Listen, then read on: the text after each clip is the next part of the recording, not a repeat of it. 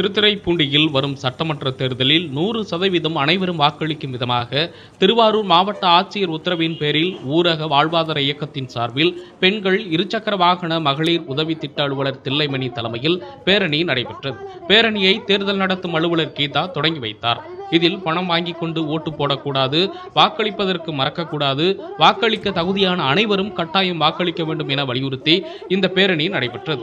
இப்பேரணி திருத்துறைப்பூண்டி புதிய பேருந்து நிலையத்தில் தொடங்கி முக்கிய வீதிகள் வழியான நகராட்சி அலுவலகம் ரயில்வே நிலையம் வழியாக சென்று வட்டாட்சியர் அலுவலகத்தில் முடிவடைந்தது.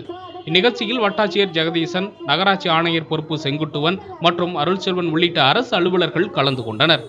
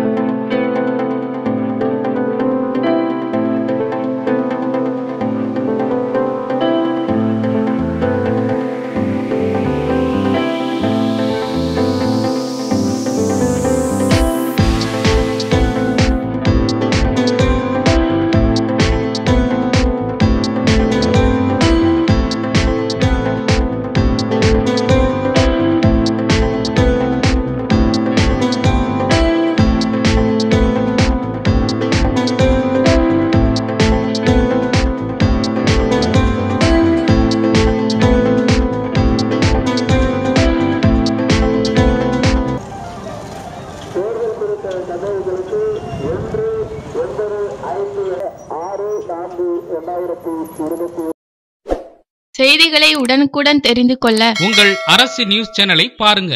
சேனலை சப்ஸ்கிரைப் பண்ணுங்க.